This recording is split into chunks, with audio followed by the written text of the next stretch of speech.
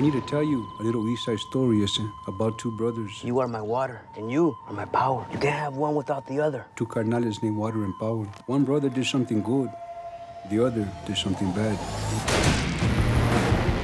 From the hard-working neighborhoods of East LA to the mean streets of Los Angeles, two brothers must survive one night.